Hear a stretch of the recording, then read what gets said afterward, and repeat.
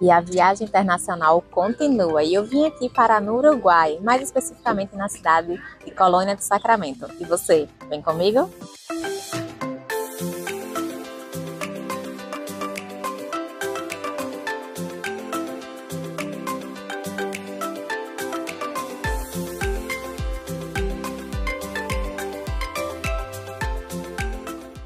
A cidade Colônia do Sacramento é Patrimônio Mundial da Humanidade concedido em 1995 pela Unesco. Fui de barco saindo de Buenos Aires para chegar nela. A embarcação seguiu pelo Rio Prata e de lá conseguimos ver alguns prédios do bairro Porto Madeiro. De longe, mas dá para ver. Essa cidade foi uma disputa de Portugal e Espanha e você encontra a diferença nas casas que dá para ver também a parte da cidade que foi se modernizando.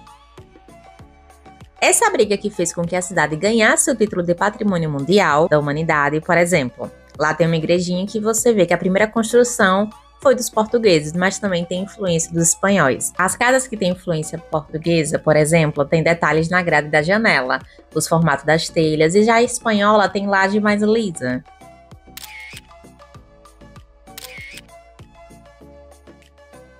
Você pode ter uma visão completa da cidade ao subir no farol. Tem vários museus pela cidade para você acompanhar a história. Em relação ao farol, eu fiquei na minha quietinha sem subir lá nas alturas.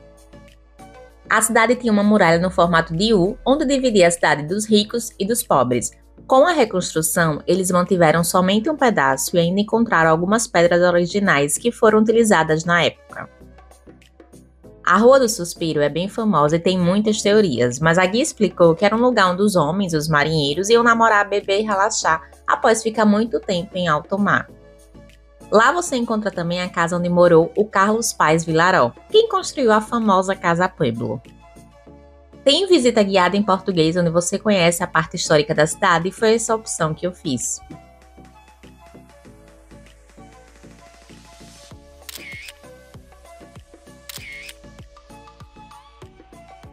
Bom, eu contratei um Walk Tour, eu acho que vale a pena, porque você vai conhecendo um pouquinho da história, o porquê de cada casa ser de um jeito, eu acho que vale super a pena. E é uma cidade pequena, que dá para você conhecer em um dia, ou também dá para você passar mais tempo, porque tem outros pontos, né? Eu conheci só os principais, mas eu gostei do que eu vi.